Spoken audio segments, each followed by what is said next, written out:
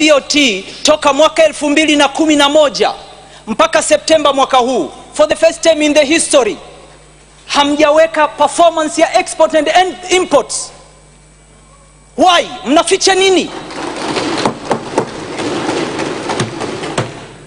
Alisema ndugu Abdurrahman Kinana, mwenyekiti, wakati anaongea katika function ya Kigoda pale University of Dar es Salaam, alisema hivi, namnukuu katibu mkuu wa chama chetu, jambo muhimu la kiongozi ni kusikiliza watu wake. Viongozi hamna monopoly right ya wisdom. Viongozi hawana monopoly right ya truth. Mono, viongozi hawana monopoly right ya wao wako sahihi kila siku. Na mheshimiwa mwenyekiti, hakuna jambo muhimu katika kupanga mipango yoyote duniani kama takwimu. Ukurasa wa saba wa dokumenti ya mapendekezo ya mpango unaonyesha mwenendo wa ukuaji wa pato la taifa toka mwaka 2011 mpaka 2017. 2011 our growth was 9.1%. Today it is projected 6.8, lakini as per this report ni 5.7. Mwenyekiti, naomba ninukuu maneno yafuatayo.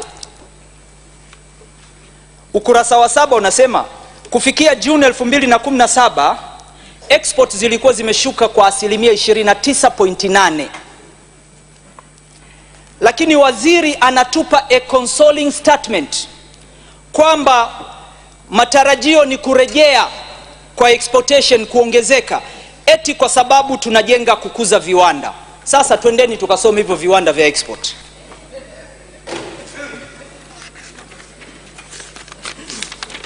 Sio maneno yangu. Kwenye mpango waziri ametaja viwanda, ukurasa wa 26, kiwanda cha kuchenjua madini kilichopo Geita, kusindika nyama Kisivani, Shinyanga, Mitobotobo Farmers Company Limited, kuzalisha mafuta ya kula, kuchambua pamba kiwanda cha kuzalisha vifungashio Global Packing, kiwanda cha kuzalisha vinywaji baridi Sunny Food Company, Sayona Limit, Sayona. Hivi ndio tuta export kurudisha asilimia 29. Kuzalisha bidhaa za ujenzi. Brother, tumeahidi kuondoa umaskini wa watu. Mwenyekiti, sio maneno yangu mimi, na koti maneno ya waziri wa mpango. Twendeni ukurasa wa 68. Sekta ya kilimo, look at this. Hii ndio sekta ime, ime, imeajiri asilimia 65 mpaka sabini ya wananchi wetu, na kwa tafiti zilizofanyika, ndugu mwenyekiti, Watanzania zaidi ya asilimia 80 walioko kwenye sekta ya kilimo, yani ile 70%, 80% ya hiyo 70% inafanya kazi mbili duo, inalima na inafuga, kama sio ng'ombe, mbuzi, kuku, bata na vitu vya namna hiyo, anafanya duo. Now look at these two things, mwenyekiti. Sekta ya mifugo, serikali imepanga kufanya uhimilishaji wa mifugo laki nne. Tunahimilisha kufanya insemination ng'ombe laki nne na elfu hamsini na kitu, lakini tunafang, tunapanga kuzalisha chakula hei. Mwenyekiti, hei ni yale majani ya ng'ombe. Tunapanga kuzalisha chakula kwa mwaka laki nne na elfu arobaini na tano hei laki nne elfu arobaini na tano Kitakwimu hei moja ina uzito wa kilo 25. Chakula hiki ukikigawa kwa siku 360 kinalisha ng'ombe 1600 huku unapanga kuzalisha ng'ombe laki nne lakini unaandaa mpango wa chakula ng'ombe 1600. Mwenyekiti, hapa wabunge wamejadili swala la kilimo. Hakuna sehemu waziri wa kilimo ana plan on the o, o, kuz, kuanzisha price stabilization ya mazao ya chakula. Leo kuzalisha kilo moja ya mahindi gharama ya shambani ni shilingi 357. haya siyo maneno yangu.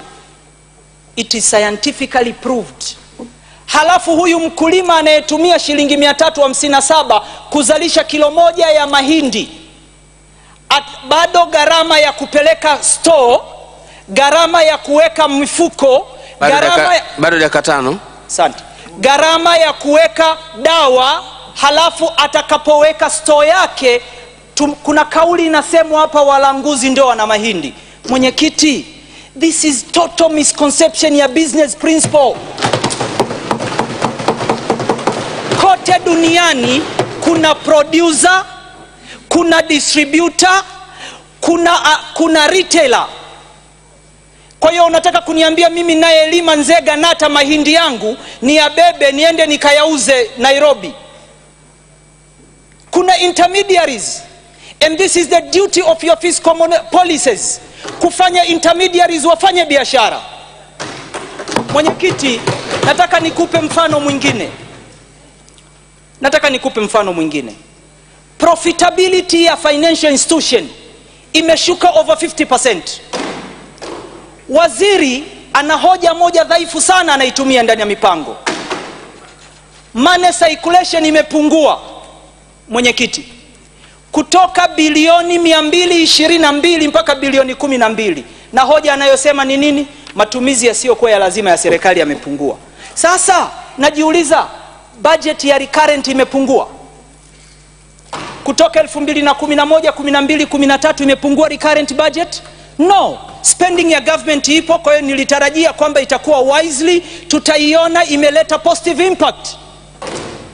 Lakini hakuna sasa mimi ushauri wangu kwa waziri wa kilimo kwa waziri wa, wa fedha dr mpango narudia this is the third time naheshimu your academic background. Sijawahi kudoubt kaka hauwezi kuondoa umaskini wa nchi bila kuwekeza kwenye kilimo. Never. Hauwezi kuleta mapinduzi ya viwanda mapinduzi ya viwanda bila kuwekeza kwenye kilimo. Mwenyekiti mkulima wa nchi hii ndio kageuka punching box ya nchi hii. Tuna control inflation ya chakula kwa gharama ya mkulima. How come? Haiwezekani. Hatuwezi kufanikiwa kwa namna hii. Yaani sisi tunadhibiti mfumko wa bei kwa kumtia umaskini mkulima aina gani za economy hizi mwenyekiti nataka nikupe mfano mdogo tena angalie. Hatuwezi kuondoka kwenye umaskini kama mawazo ya wizara ya fedha hayatokuwa ni productive oriented badala kuwa tax based approach. Mwenyekiti angalia mpango huu unakuwa financed namna gani. Waheshimiwa wabunge tuchukue, kara, tuchukue document ya mpango. Musome how are we going to finance mpango peji namba 29 peji namba 29 ya mwongozo wa maandalizi.